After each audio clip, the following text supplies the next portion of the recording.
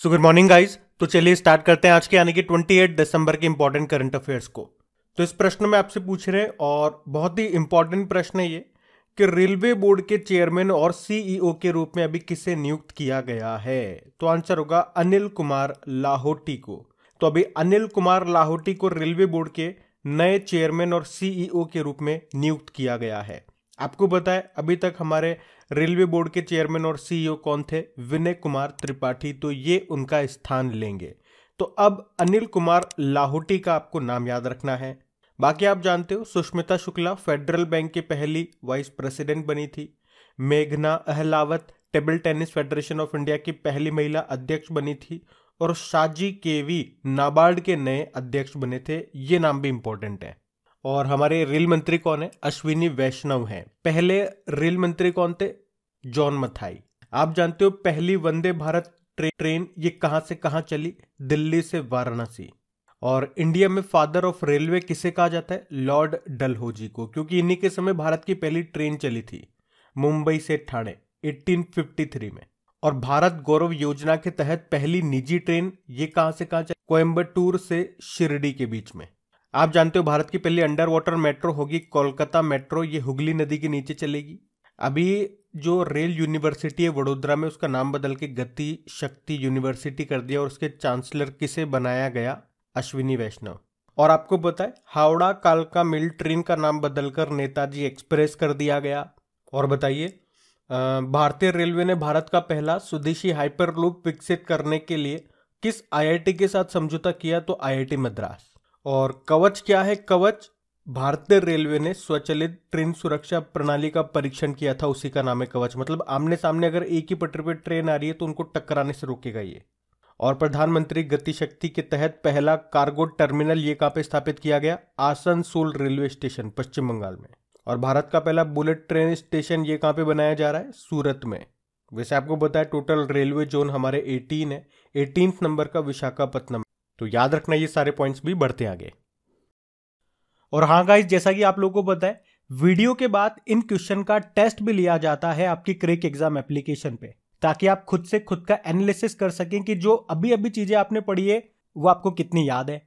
और अब से मैं क्या करूँगा डेली टॉप फाइव स्टूडेंट्स का नाम भी आपको यहाँ पे शो करूँगा, ताकि आप भी मोटिवेटेड फील कर सके, आपकी और इच्छा हो ज़्यादा मेहनत करने की, जब आपका नाम आपका फ़ोटो के साथ हर कोई देखेगा तो आप भी अपने आप में प्राउड फील करेंगे। तो 27 दिसंबर के करंट अफेयर्स की जो क्विज हुई थी, उसमें हमारे टॉप फाइव स्टूडेंट्स हैं। हेमराज, ये फ़र्स्ट नंबर पे आए। सेकंड पे हैं सुनील, फिर है मनोज, फिर है महेश कुमार और हैं गगन। तो बाकी स्टूडेंट से भी मैं यही कहूँगा प्रैक्टिस करते रहिए। एक ना एक दिन आपका भी नाम यहाँ पे टॉप फाइव में शो होगा। तब आप भी अपने पेरेंट्स को दिखाना। देखिए, हमारा नाम भी यहाँ पे टॉप फाइव में आया है। तो उनको भी अच्छा फील होगा। वो भी खुश होंगे देखना कि हाँ हमारा बेटा, हमारी बेटी अच्छे काम कर रहे हैं। ये पढ़ रहे हैं, वरना ऐसे हर किसी का नाम थोड़ी ना लिया जाता है। तो आप खुद भी प्राउड फील कीजिए और अपने माँ बाप को भी प्राउड फील करवाइए। पर याद रखना, ईमानदारी से चीटिंग से नहीं। और क्विज के साथ साथ जो पीडीएफ है, वो भी आपको अपनी क्रिक एग्ज़ाम एप्लीकेशन पे मिल जाएगी, जिसका लिंक कहाँ पे मिलेगा? नीचे डिस्क्रिप्शन बॉक्स में। अभी बढ़ते हैं आगे। और सेशन अच्छा लगे, मेहनत अच्छी लगे तो वीडियो को लाइक ज़रूर कर देना, नहीं करा तो। और इसे अपने दोस्तों तक शेयर ज़रूर करना। अभी बढ़ते हैं आगे। चलिए बताइए फिर। अभी दिसंबर 2022 में टेस्ट एटलस अवार्ड्स के अनुसार 2022 के लिए दुनिया के सर्वश्रेष्ठ व्यंजनों की सूची में भारत का स्थान क्या रहा? तो आंसर होगा पाँचवें स्थान पर रहा। तो अभी दिसंबर 2022 में घोषित टेस्ट एटलस अवार्ड्स के अनुसार भारत 2022 के लिए दुनिया के सर्वश्रेष्ठ व्यंजनों की सूची में पाँचवें स्थान पर रहा है।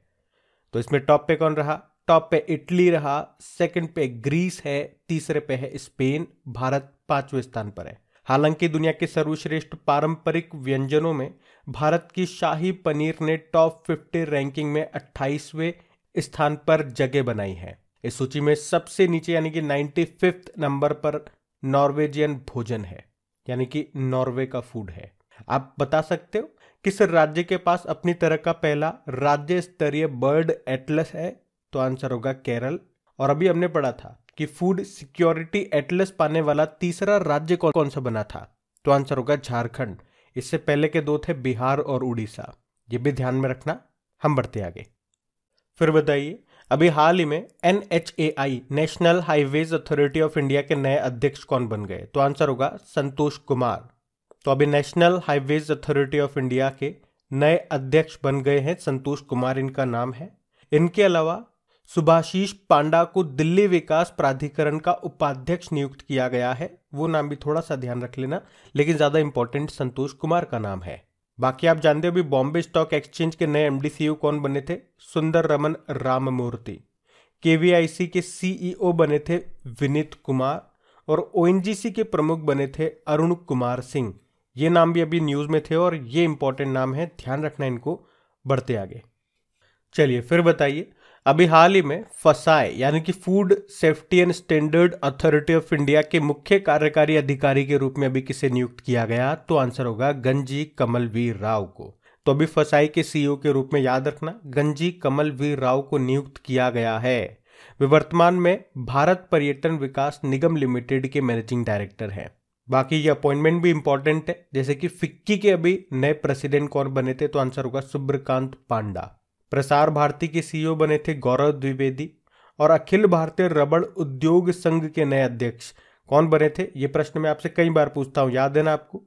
जब भी नई दिल्ली की बात आती है, मैं आपको बताता हूँ, मुख्यमंत्री अरविंद केजरीवाल है। अच्छा एक और केजरीवाल है, रमेश केजरीवाल। वो अभी क्या बने थे? तो आप आंसर क्या करते हो?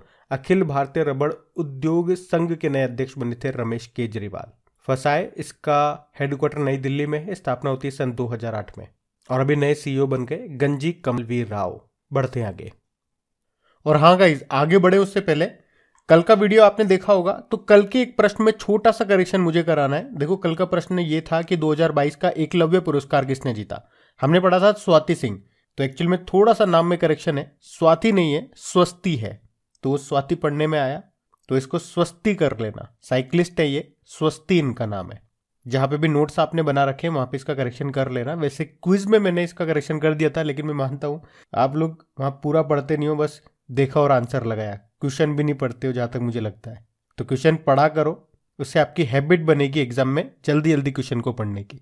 अभी इसको करेक्शन कर लेना, अभी हम बढ़ते आगे। चलिए फिर बताइए, अभी दिसंबर 2022 में पहला अंतरराष्ट्रीय तटीय महोत्सव 2022 का आयोजन ये कहाँ पे किया गया? तो आंसर होगा केरल में। तो इस फेस्टिवल का नाम याद रखो पहले तो बेकल इंटरनेशनल बीच फेस्टिवल। पहली बार इसका आयोजन किया जा रहा है, इसलिए भी ये इंपॉर्टेंट है। अभी 24 दिसंबर को ये शुरू हुआ 10 दिनों तक ये चलेगा। कहाँ पर? तो अपने मसालों के लिए मशहूर नॉर्थ मालाबार के रूप में प्रसिद्ध केरल के उत्तरी तट पर। कौन सा फेस्टिवल है ये? बेकल इंटरनेशनल बीच फेस्टिवल। अच्छा यूँ बताओ आप तो केरल के समुद्री तट को क्या कहते हैं? मालाबार तट कहते हैं। लेकिन तमिलनाडु के समुद्री तट को क्या कहते हैं, ये पूछेंगे तो कोरोमंडल तट कहते हैं। और अगर पूछूँ कि भारत में कौन सा राज्य है जिसकी सबसे ज़्यादा कोस्टल लाइन है मतलब जिसकी सबसे ज़्यादा सीमा समुद्र से लगती है तो आंसर होगा गुजरात। और विश्व में पूछा जाएगा तो कनाडा आंसर होगा। अभी लेटेस्ट हमने पढ़ा था एक आध महीने पहले, वो कौन से दो बीच हैं जिनको ब्लू फ्लैग सर्टिफिकेट मिला था? तो लक्षद्वीप के थे ये दोनों। बीच एक था थुंडी और एक था कदमत। वो भी ध्यान रखना। बाकी बात यहाँ पे केरल की है तो ये रहा मैप में केरल। आप जानते हो केरल, जिसे गार्डन ऑफ़ स्पाइस मसालों का बाग कहा जाता है, यहाँ की कैपिटल तिरुवनंतपुरम है। भारत का पहला स्पेस टेक पार्क आपको यहीं पे मिलेगा। विक्रम साराभाई स्पेस स्टेशन आपको यहाँ पे मिलेगा। मुख्यमंत्री पिनाराई विजयन है और गवर्नर है आरिफ मोहम्मद खान। अभी आपको याद होगा नवंबर में अठारहवें अंतर्राष्ट्रीय टेलीमेडिसिन सम्मेलन का आयोजन हुआ था केरल कोच्चि में। और अभी बताओ किसे? पहले केरल ज्योति पुरस्कार के लिए चुना गया था तो एम टी वासुदेवन नायर को। अभी केरल राज्य भर में सोने की एक समान कीमत लागू करने वाला पहला राज्य भी बना था। और आपको बताया भारत का जो पहला स्वदेशी विमान वाहक पोत है, उसका नाम है आई विक्रांत। उसको किसने बनाया है? कोचिन शिपयार्ड लिमिटेड ने। और भारत का पहला हाइड्रोजन ईंधन वाला इलेक्ट्रिक पोत भी यही बनाएगा। और कोचिन इंटरनेशनल एयरपोर्ट भी याद रखना, ये दुनिया का पहला सौर ऊर्जा से संचालित होने वाला एयरपोर्ट बना था।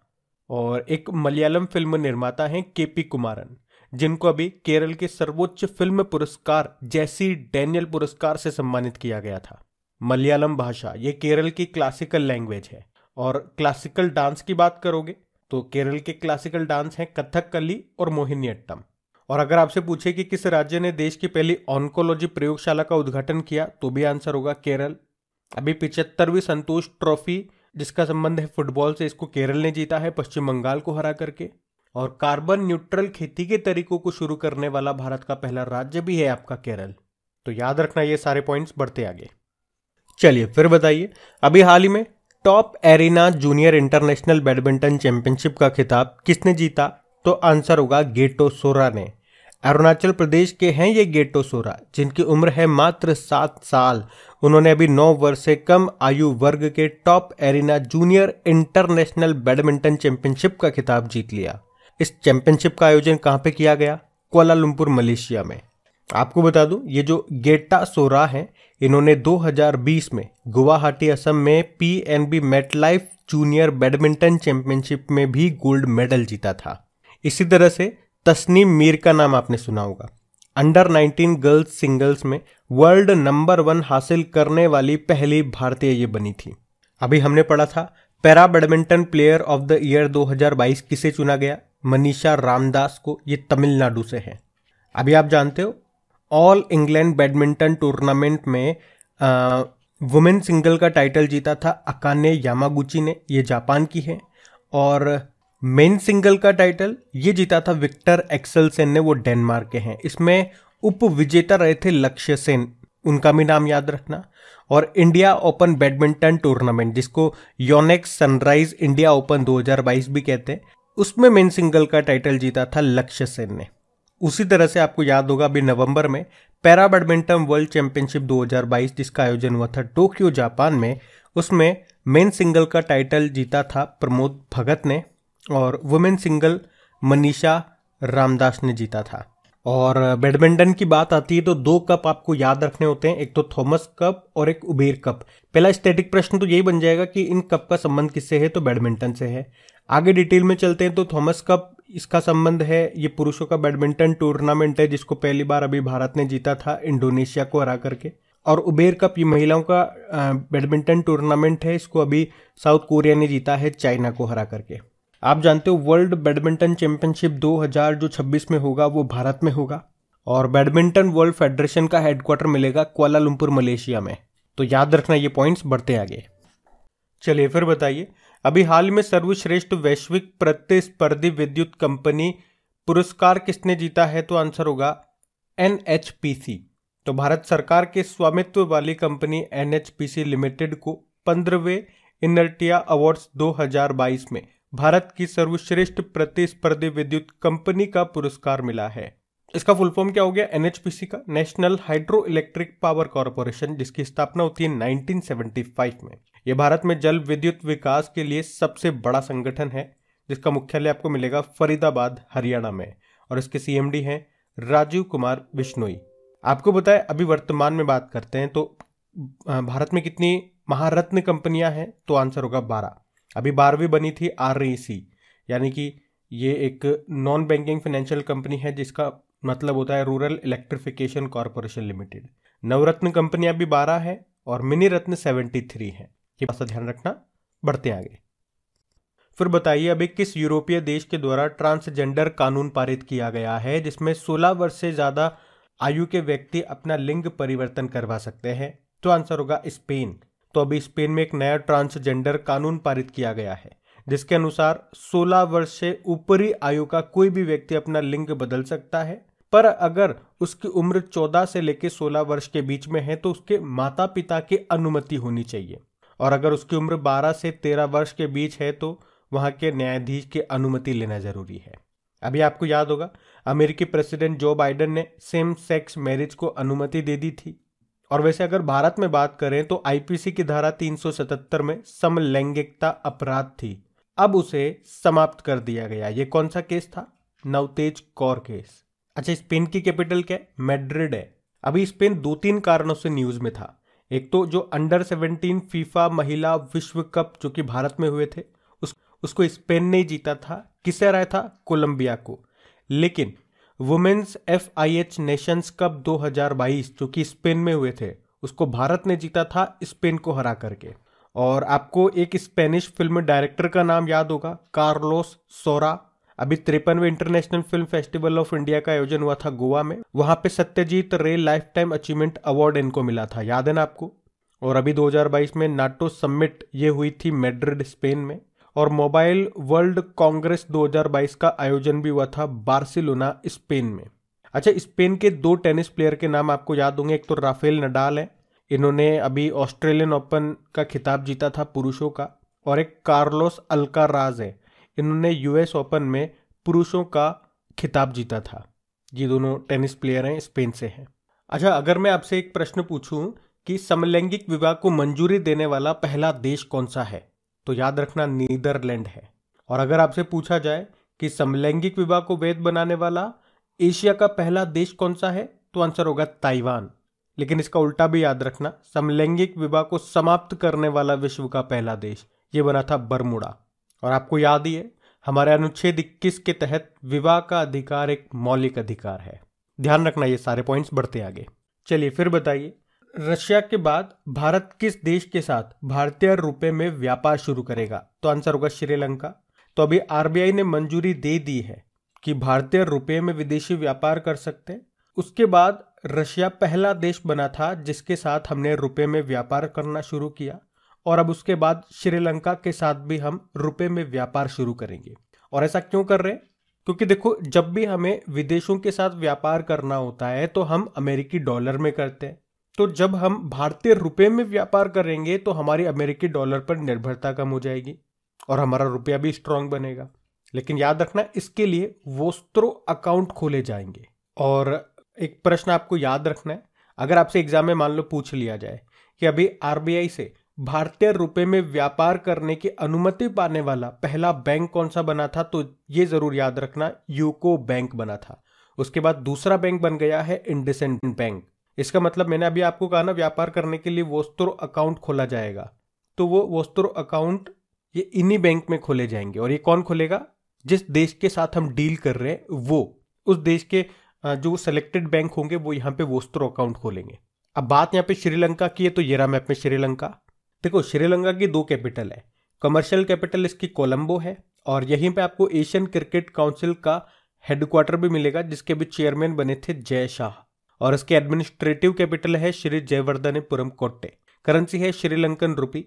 अभी यहाँ के नए प्रधानमंत्री कौन बने थे? दिनेश गुणवर्धने आपको है, भारत और श्रीलंका के बीच में एक स्ट्रेट है, जिसको क्या कहते हैं? पाक स्ट्रेट, पाक जल डमरू मध्य। और वैसे श्रीलंका के साथ कौन कौन से एक्सरसाइज करते हैं हम? स्लाइनेक्स नाम की एक्सरसाइज करते हैं, एक मित्र शक्ति नाम की एक्सरसाइज भी करते हैं। और अगर आप वीडियो पे पहली बार है तो आपको बता दूँ, सन 2022 में जितने भी युद्ध अभ्यास मिलिट्री एक्सरसाइज भारत ने किए हैं, उनका एक स्पेशल वीडियो बना करके मैंने अपलोड कर दिया है। सारे इससे रिलेटेड क्वेश्चन आपने वहाँ पे कवर कर लिए। तो अगर यहाँ से संबंधित कोई प्रश्न आपका पूछा जाता है एग्ज़ाम में तो वो प्रश्न आपको उस वीडियो में मिल जाएगा। तो वो वीडियो एक बार देख करके ज़रूर जाना एग्ज़ाम जाने से पहले। और उसकी क्विज बना करके अपलोड कर दिया करेक्ट एग्ज़ाम एप्लीकेशन पे ताकि आप अच्छे से प्रैक्टिस कर सको। पीडीएफ भी वहाँ पे बना के डाल दी गई है। अब एक प्रश्न मैं आपसे पूछूँगा। अगर आपने वो वीडियो देखा होगा तो बताना, जो दोस्ती अभ्यास है, वो किन किन देश के बीच में होता है? भारत तो रहता ही है, और कौन से देश रहते हैं? ये बताओ आप। और 2022 में बिम्स्टेक की अध्यक्षता ये श्रीलंका ही कर रहा है। और श्रीलंका से याद रखना, अभी जो पुरुषों का एशिया कप हुआ था क्रिकेट एशिया कप। ये एक तो यूनाइटेड अरब अमीरात में हुआ था, उसको किसने जीता था? श्रीलंका ने पाकिस्तान को हरा करके। लेकिन महिलाओं का जो एशिया कप हुआ था, वो बांग्लादेश में हुआ था। उसको भारत ने जीता था श्रीलंका श्रीलंका को हरा करके। और याद रखना 2024 में under 19 men's T twenty world cup होंगे, ये श्रीलंका में होंगे। और 2026 वाले, ये जिम्बाब्वे और नामीबिया में होंगे। तो याद रखना ये सारे पॉइंट्स, बढ़ते आगे। फिर बताइए, अभी दिसंबर 2022 में किस राज्य या केंद्र शासित प्रदेश में लोसर महोत्सव मनाया गया? तो आंसर होगा लद्दाख में। तो अभी लद्दाख ने, लद्दाख की नव वर्ष को चिन्हित करने के लिए लोसर महोत्सव मनाया। लोसर महोत्सव या लद्दाख की नव वर्ष कह दीजिए। सर्दियों के दौरान मनाया जाने वाला लद्दाख का एक प्रमुख सामाजिक धार्मिक त्योहार है और हर साल 24 दिसंबर से 15 दिनों तक आयोजित होने वाले इस त्योहार के दौरान प्रेयर लैंप जलाए जाते हैं। ये लद्दाख क्षेत्र में बौद्ध समुदाय के द्वारा मनाया जाता है तो ये है लोसर महोत्सव। इसी तरह से लद्दाख में हेमिस उत्सव भी मनाया जाता है, और हेमिस नेशनल पार्क, ये आपको है लद्दाख में ही है तो उससे भी आप अंदाज़ा लगा लोगे कि हेमिस फेस्टिवल कहाँ मनाया जाता है लद्दाख में। एक स्पुतिक गस्टर फेस्टिवल भी यहाँ मनाया जाता है, सिंधु दर्शन महोत्सव पूछेंगे तो वो भी यहाँ मनाया जाता है। यहाँ के उपराज्यपाल लेफ्टिनेंट गवर्नर कौन है? राधा कृष्ण माथुर है। अच्छा एक लोसर महोत्सव और एक होता है लोसांग महोत्सव तो दोनों में आप कंफ्यूज मत होना। तो लोसर महोत्सव तो याद रखना लद्दाख का है और लोसांग फेस्टिवल ये आपके सिक्किम का है। और आपको बताया अभी पैंतीसवा सूरज कुंड अंतरराष्ट्रीय शिल्प मेले का आयोजन कहाँ पे था? हरियाणा। पुष्कर मेला पूछेंगे तो ये मनाया जाता है राजस्थान में और पुष्कर फेस्टिवल होता है जम्मू कश्मीर में। खीर भवानी मेला पूछ ले, बंगस आवाम मेला पूछ ले, जम्मू कश्मीर में मनाया जाता है। और अंबुबाची का मेला यह असम में लगता है जहाँ पे कामाख्या देवी का मंदिर है। तो ये भी ध्यान रखना। अब बात करेंगे कल के वीडियो में पूछे गए प्रश्न के उत्तर की। तो कल के वीडियो में आपसे पूछा था कि सामाजिक उपलब्धि के लिए टेगोर पुरस्कार के लिए आ, किसे सम्मानित किया गया? तो आंसर होगा एस के रॉय को। आप सभी ने प्रश्न का बिल्कुल सही उत्तर दिया है। और गाइज़ सेशन अच्छा लगे और अभी तक आपने इसको लाइक नहीं किया भूल गए तो प्लीज़ इसे लाइक कर देना। और अपने दोस्तों के साथ में जो भी आपका स्टडी ग्रुप हो गया वहाँ पे एक बार इसे शेयर ज़रूर करना। और इनका क्विज बना करके अपलोड कर दिया गया। पीडीएफ पे आपको मिल जाएगा, आपके क्रिक एग्ज़ाम एप्लीकेशन पे। आप ये रहा आज का आपका होमवर्क प्रश्न।